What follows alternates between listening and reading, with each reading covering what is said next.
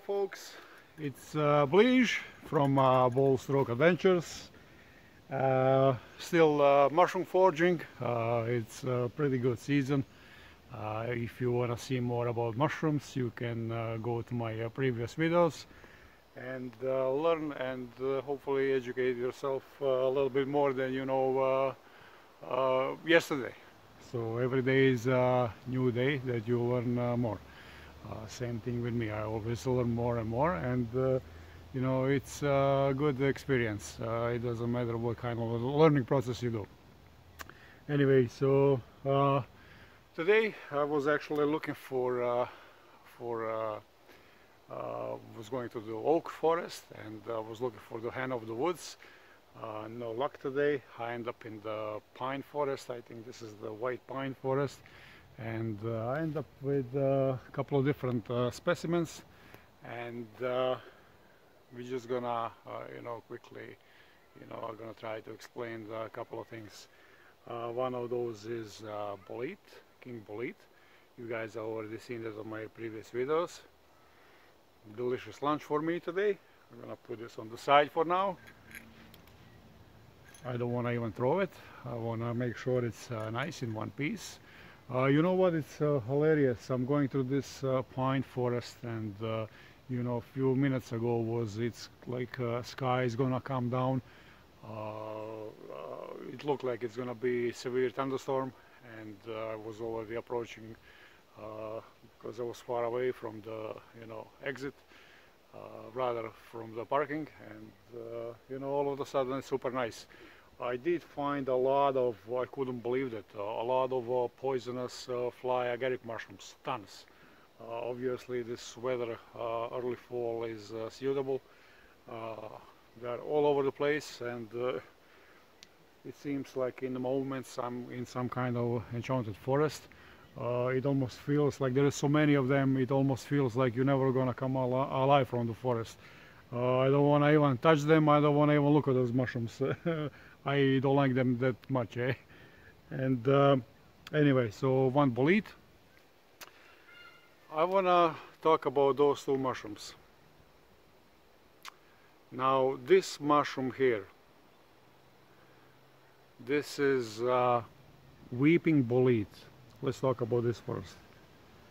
I'm gonna put this one over here. So this mushroom here it's a, weeping uh, bolete mushroom, also called uh, dotted or uh, granule bolete. And I don't know if you can see, but from halfway up the stalk, stalk is white, but halfway up you see actually dots and dots are like uh, a brownish color. It's almost like a almost like a you know pepper from uh, halfway up. Uh, top got uh, its uh, uh, brown color and it has these you know white I would almost call them like milky spots. And I'm gonna cut this in half as I always do every mushroom so I can actually uh, show you how they look. I always say that it's uh, actual excellent reassurance. So meat is uh, white, not staining. I don't know if you can see that good. Uh, this sun is actually flashing straight into me. Uh, I don't like that, but uh, it is what it is right now. So meat, white, not uh, staining, and uh, pores are uh, uh yellowish color. And uh, you would usually find them in uh, bunches, not only one. they grow in the groups, and it's it's a very good mushroom. It tastes like a porcini, but they grow much smaller. Uh, excellent mushroom. So when you find them, uh, pick all of them. Even if you find uh, uh, small ones, pick all of them. Don't leave them for snails. and uh, don't forget uh, pores not gills all right okay let's go to the second one I'm gonna leave this with my uh, bolete uh, second one is uh, white, white uh, pine uh, and these ones also they grow in uh, bunches. And uh, this uh, specimen here they I got quite few with me. And uh, top is you know slimy. And it has this it doesn't have a defined uh, one one color. It has uh, spots almost like uh, cinema spots uh, red to brown spots. Oh, this is better no sun cloud just stay there please. So it has uh, this uh, almost like a cinnamon spots. And when, when you pick them look at my fingers. When you pick them and it's because it's slimy you're gonna see on your fingers it's almost like rust from the metal. It's gonna stay on your finger. They smell something in between fruity and mushroomy and this one I also gonna cut in half so you can uh, see what's going on. Uh,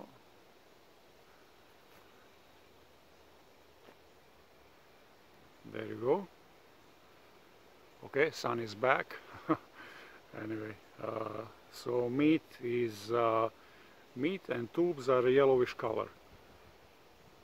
Uh, pores are uh, brownish yellow brownish but uh, I'm gonna leave this on, on this uh, branch.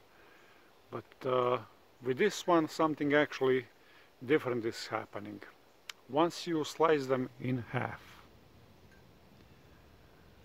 when you get to the meat this meat is gonna as soon as it's uh, exposed to air it's gonna start uh, changing color. Uh, something uh, I would call it like in between uh, red to brownish uh, color. And as you can see the more I talk more rapidly color is changing. So it's originally yellow and once you slice them uh, it's gonna start becoming like a red brownish uh, color uh, which is normal perfectly fine. This is just another feature for identification of the uh, white uh, pine bolete like I said they grow in bunches and you can like I said you can dry them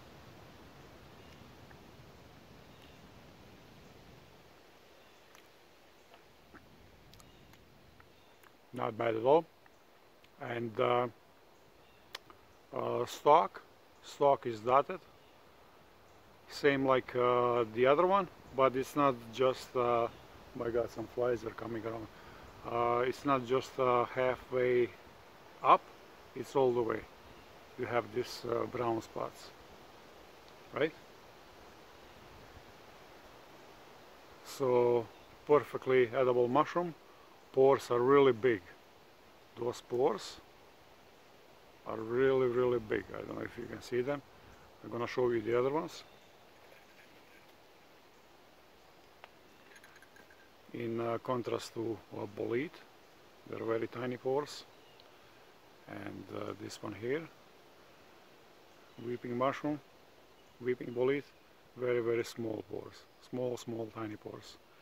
So it's always to remember that uh, you know you need to identify uh, mushrooms uh, properly do not take a chance gamble uh, if there is any poisonous look-alike, uh, don't even bother with that mushroom because if it's a good chance you're gonna make mistake, well, don't make mistake, don't even bother.